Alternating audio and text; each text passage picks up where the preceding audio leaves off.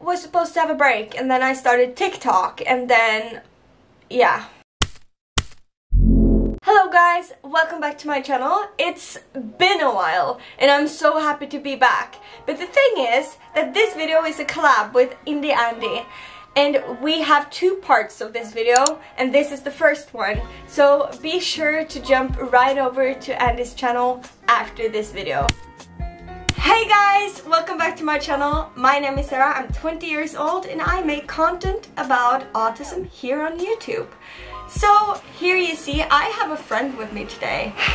What's your name? Hi guys, my name's Andy. I run the YouTube channel Indie Andy and basically the same as Sara, I also make content about autism here on YouTube.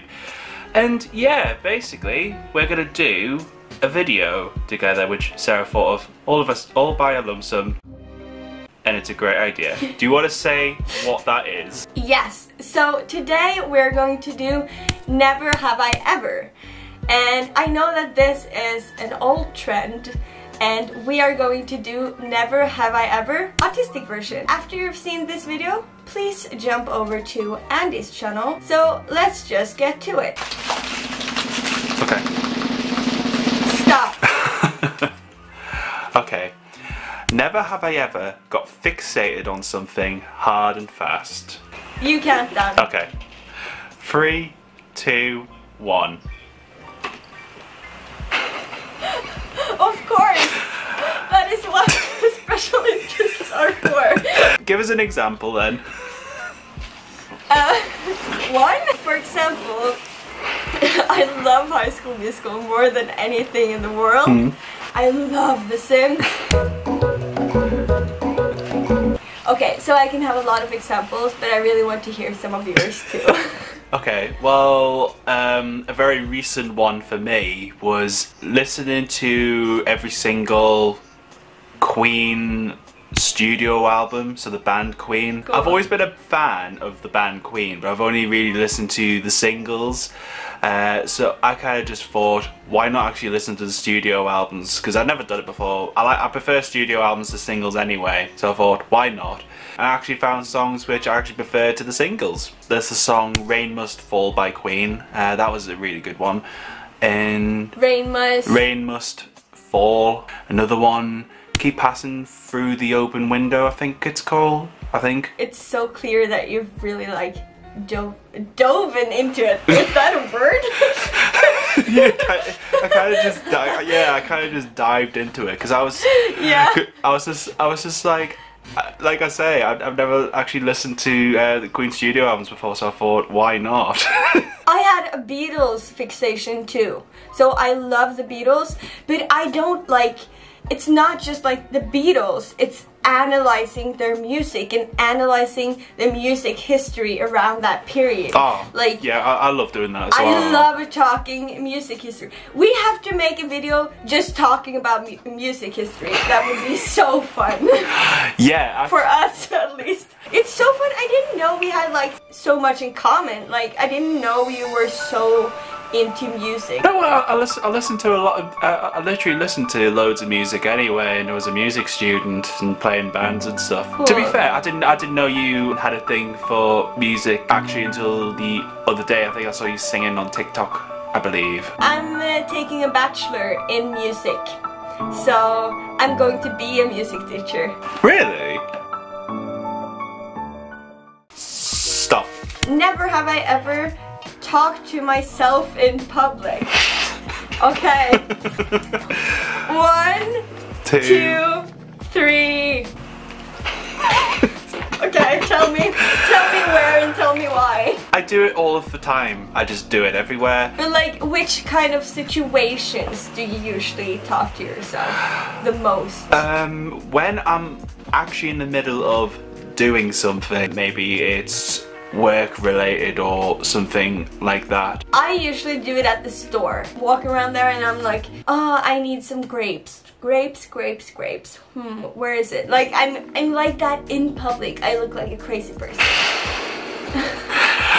to be fair, to be fair, I do the same thing. I- I- to, to be perfectly honest, just to generally say, like when I've gone to when I go to the shops, for example, and I need to find something, I'll just go. Oh, I need to find bread. Where's the bread? And I'll go looking for the bread, Yeah. and then I'll be like, oh, there's the bread. It's kind of annoying as well. Just I'm going off on a tangent, Yeah. but I kind of need to make this point here, and I'm hoping people that watch this will 100% get behind this. It's really annoying in supermarkets, shops, and things like that where you have to get food and stuff. You go to the place where you know it was last time, but then it's changed and it's gone to a completely different place. It's the most infuriating thing in the whole world. I have to like turn in here because I have celiac disease and that means I can't eat regular bread and pasta and stuff like that. It needs to be gluten free. Yeah. And that sort of things has always been in one type of place in the one store that I go to.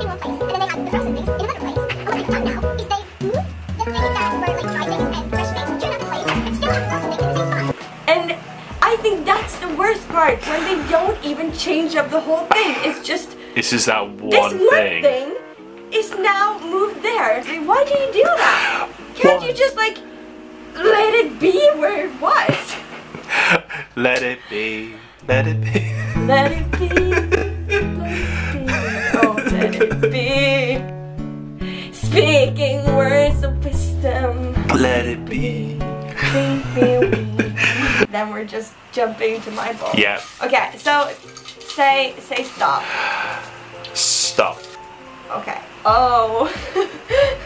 Never have I ever had a meltdown in public. One, two, three. Okay. Uh-huh. So tell me. so tell me how that went. The main example that I can think of was in college.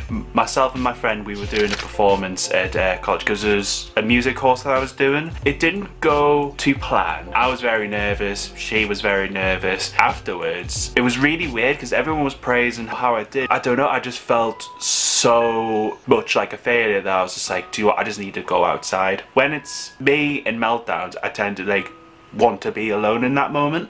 So pretty much, I went outside. I started sobbing my eyes out because I was like, I didn't do as well as as as well as I thought I would do. That's kind of the thing with me, and I've never actually talked about before, actually, weirdly enough. So this is quite vulnerable for me right now. that moment, it was sobbing and just uh, feeling quite sorry for myself, to be honest. You've never actually had a meltdown in public, have you? Okay, so the thing is that it's easy for me to do this. The reason why that is, is because I hear meltdown and I think, oh, the times where I rip my hair out and bang my head against the wall and hit myself. So I can tell you this one story and you can help you decide if it was a meltdown or not. Oh, okay. I got bullied when I was younger. Mm-hmm. It was the year before high school. Some boys were like picking on me, and one of them had done that for the last three years. And one time he came out and started like picking on me and stuff when I was so overwhelmed. And it was because it was so much noise and it was like just a wall of sound. And I just had to leave the classroom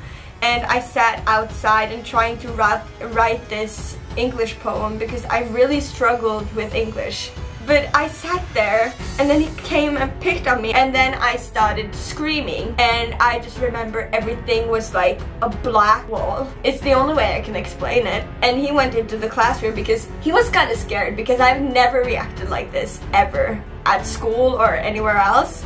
And I started throwing chairs around the room. I started hitting him in the stomach and then I started bawling my eyes out and I thought it was one of my panic attacks. But then I ran out of the classroom and I started hyperventilating. But when I look back on it, it sounds like it was just enough and it was so many sounds and so many things that I had to like, I don't know, cope with. So I don't know, maybe it was a meltdown. From the sounds of it, it kind of does sound like that. So you've had like multiple things go on and it's just piled up and piled up. Then you've kind of just reached that point of I can't take this anymore and just gone throwing chairs, flipping tables from the from the sounds. Yeah, I would I would say so, especially like with afterwards. because I never actually thought of that like after I got my diagnosis and stuff, I had all those excuses for reacting like that. So I didn't even I didn't even think about it when we did this. Like seriously. the more you know. Is it my go or is it your go? No, you've just done. I one, think so it's your mine. go. Yeah. Okay. I'm ready. Okay. Right. Stop! Right, okay. Never have I ever thought about how a conversation should have gone. Oh, okay. You want to count down? Yep, okay. Three, two, one. Is has there been example you can think of, or is it just is it just a general thing? Well, one time I had a conversation with lovely girl. She looked a lot like somebody that bullied me in middle school. And it wasn't her fault at all, and I didn't blame her or anything. And then she started asking about me and my life. And then I said to her that uh, you actually look like somebody that bullied me. And uh, the thing is that I, I think I said that in the wrong way because I was only saying it as a joke, not because it wasn't true, but because I just thought it was funny. Like, it didn't mean she looked a certain way, it was just, she looked like somebody who bullied me. And I think that that hurt her and she told a lot of people afterwards that I think she was like the person that was bullying me in, in middle school and I never said that. But I think maybe the way I said it didn't come off the right way. I, I don't know, so and that's just like one of the things and then you have all like the when you're overthinking and stuff like that of course but uh, Yeah. what do you think Um, for me, uh, when I wrote this one, it was kind of that thing of when you're, I don't know, just generally talking to someone, but then afterwards you kind of think of the scenarios of how it, you could have done better. So, like, one of the things for me was, I don't know, if I, you know, was talking to someone uh, about a thing, like a project that we were gonna do, but they came up with all the ideas and stuff, and like I felt like I couldn't like interject because that's the thing with me. I feel like it's kind of hard for me to interject sometimes. Yeah. but then after the conversations happened, it'll just it'll just be like, oh man, I wish I said that, or oh, I wish it played out in this scenario, or sometimes I kind of wish that I was just a pro boss and gone, yo, we're doing it this way. This is how it's happening, but it's just like. It, just it just doesn't happen that way sometimes. It typically happens a lot. Quite uh, it, to be honest, it happens a lot at work. to be honest, someone will um, give an example or say something, and I'm just like, oh, please, please, I just want to interject and just be like, no, just don't do this, and it just, I don't just do can't- it it's I just, I just can't get the words out, you know. and I can add to that and say that I would probably be the person that you think you should be in that situation. I and I would want to be able to do the opposite because I'm like I'm I'm here with all my ideas and I'm just running through and I don't care about anybody and I'm like, oh I have these ideas and I have all this and this and that and hmm. I don't listen to anyone? I, I think I do. I really think I do. I think that I'm listening to everybody and taking their ideas and just like adding on to it. But Yeah. I'm like how I actually come across is like I have this idea. Somebody says something, I say, no, but we can do this, you know? so so I would really love to be able to turn that conversation around and me actually being more able to listen to other people more than interjecting all the time and just taking the lead on everything because everybody has a right to say their ideas, right? We wouldn't be in a great team maybe. I would just like run over you. Uh, but to be, But this has gone very well. To be to be per- to be perfectly fair, um, the conversations I have had with you, you know, at, at first I was very nervous, obviously, because um, I'm just very nervous talking to people the first time. But once I get to know people, it's a lot, it's a lot easier. To be to be to be honest, I didn't think you you I don't think you run. I don't think you ran over me that much during that first conversation. But I was Okay.